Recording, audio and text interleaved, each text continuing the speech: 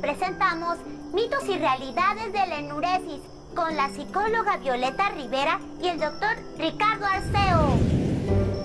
Hola, bienvenidos a Platicando con Cori, o sea, conmigo. Ah, Estoy muy, muy emocionado, ya que no siempre estamos frente a personas tan preparadas como nuestros invitados de hoy. Démosle la bienvenida a la psicóloga Violeta Rivera y al doctor Ricardo Arceo, que nos acompañan para ayudarnos a resolver muchas dudas alrededor de las situaciones que viven las familias si tienen a un pequeño con enuresis. ¿Cómo se encuentran el día de hoy? Hola Cori, estamos bien, contentos de estar contigo. Gracias por la invitación. Hola Cori, muchas gracias por invitarnos. Estamos ansiosos de poder escuchar toda esa información que nos van a dar. Pero bueno, como el título lo dice, el tema de hoy es mitos y realidades sobre la enuresis. ¿Qué les parece si pasamos al tercer mito, el cual es el siguiente? ¿Recompensar al niño si no se moja puede ayudar a acabar con la situación? Bueno, realmente no, no es bueno recompensarlo solamente por, no, por estar secos. ¿no? Aquí lo importante es darle una recompensa al niño si logra adecuarse a los hábitos, a una buena rutina, así como se acostumbran a acostarse a cierta hora, comer a cierta hora, necesitan ciertos hábitos para ir a hacer pipí y si el niño los puede seguir, por ejemplo, de lunes a viernes, independientemente de que llegue a mojarse en las noches, eh, ahí sí amerita una recompensa positiva. El error viene cuando los padres lo recompensan por estar seco si el niño no sigue la rutina, porque no entiende el mensaje. Aquí el punto es un reforzamiento positivo a unos buenos hábitos para hacer pipí. Estoy seguro de que muchas mamás y papás no sabían eso. ¡Qué gran información! Vamos con el mito número 4, el cual es el siguiente. ¿Despertar al niño durante la noche para llevarlo al baño ayuda?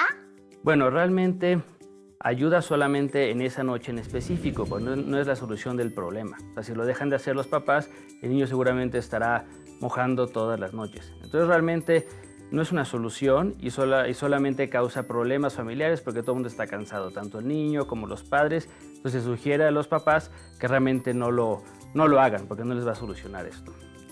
Esta respuesta es una prueba más de que siempre hay mejores soluciones. Estamos a punto de terminar nuestro conteo. Vamos con nuestro último mito, el número 5. ¿La enuresis es considerada una enfermedad grave? Bueno, grave como tal no, porque no te pone en peligro la vida. Sin embargo, las repercusiones que tiene son muy importantes y esas sí las podemos considerar graves, pero aquí Violeta nos va a platicar un poco más de esas repercusiones. Gracias, Ricardo. Mira, Cori, una de las repercusiones que más vemos en la consulta es que los niños tienden a ser muy inseguros, se preocupan mucho por mojarse, se preocupan por sentir que están fallando. Y también los papás tienden a sentirse así, muy frustrados, eh, generalmente se sienten evaluados porque ellos creen que están fallando en, en algo y por eso el niño tiene este problema. Entonces, como tal, no es una enfermedad grave, como ya dijo Ricardo, pero sí se trata de una enfermedad que tiene impacto en la sociedad, impacto en lo emocional. Hemos detectado que muchos niños incluso quieren dejar de ir a la escuela, no quieren ir de fiesta, no quieren ir a campamento, no se quieren quedar en casa de los abuelos por pena a tener enuresis en la noche. Con esa respuesta cerramos con broche de oro este capítulo de Platicando conmigo. Perdón, perdón, Platicando con Cory. El día de hoy aprendimos muchas cosas que sin duda ayudarán a que todas las mamás y papás que nos están viendo puedan estar más tranquilos si están pasando por una situación similar.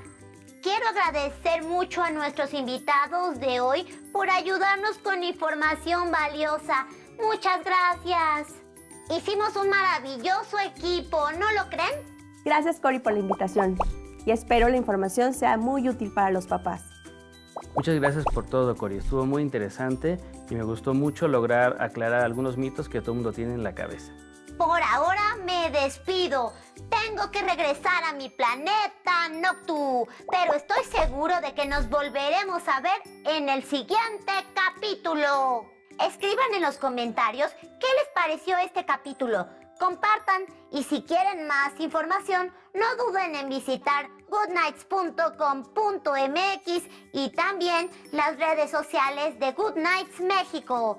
Yo soy Cory. Nos vemos en tus mejores sueños. Hasta la próxima.